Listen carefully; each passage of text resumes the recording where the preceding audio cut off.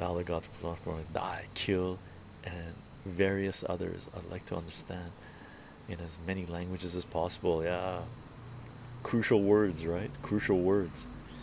That's really important, actually. What Elder saying is very profound here, again. Okay, Eldergod runs multiple bars, manages multiple bars. If you and you've been around, right?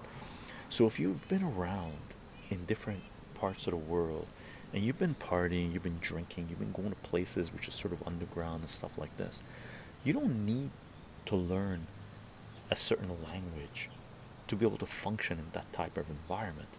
All you need to learn is trigger words, right? So, for example, assume you're in a bar, right? Drinking or something like this, or eating at a restaurant, or dancing at a at a show, right?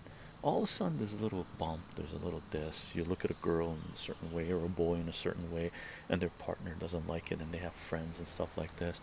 And all of a sudden, you got two or three people in front of you, right? You're trying to calm things down because you you're not interested in escalating, right? You're not interested in the situation getting out of hand, right?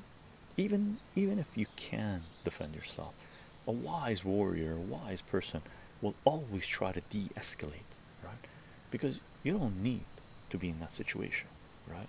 Uncontrolled chaos.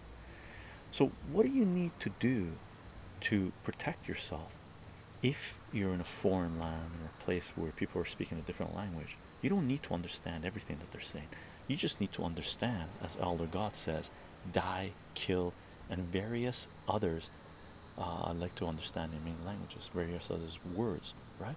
So, for example, if you're facing three people and one of them says, attack him, you already know that something's coming, so you can react, right? Or if someone says, We need more people here, we're going to surround this guy, you can back away, back away, and get out, right? So, you need just need to learn certain words, protect yourself,